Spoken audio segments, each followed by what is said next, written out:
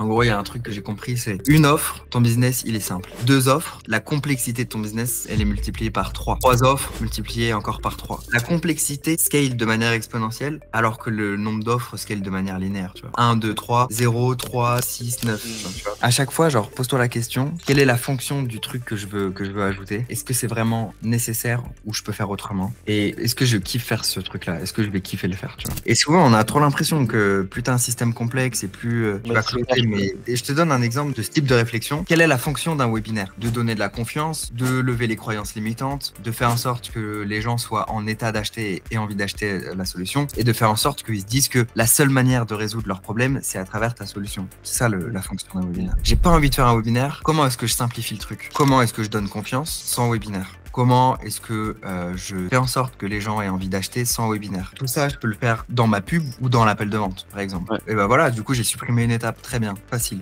En gros, il y a ce que les marketeurs disent, et après, il y a toi, ton intuition, ta logique. Et en mode, comment est-ce que je peux remettre en question ce que tout le monde fait en fait, tu vois? Souvent ça marche, mais il faut faire attention parce que vous savez, souvent t'as pas le recul nécessaire pour remettre en question certains trucs, tu vois? Personne n'a jamais de problème de visibilité. Genre ça, c'est une conviction que j'ai. Tu sais, la plupart des gens ils disent ouais, j'ai un problème de trafic, je suis pas assez visible et tout. C'est faux. Pourquoi? Parce que en vrai, t'as juste à payer et t'es visible auprès de toute la France si tu veux. Aujourd'hui, c'est super simple de faire euh, de la pub. Le vrai problème, c'est que si tu payes de la pub et que t'es pas rentable, Là, c'est un problème. Pas un problème de visibilité, c'est un problème de rentabilité. Tu vois. Donc, faut apprendre à être rentable tout en étant visible. C'est ça la vraie compétence, tu vois.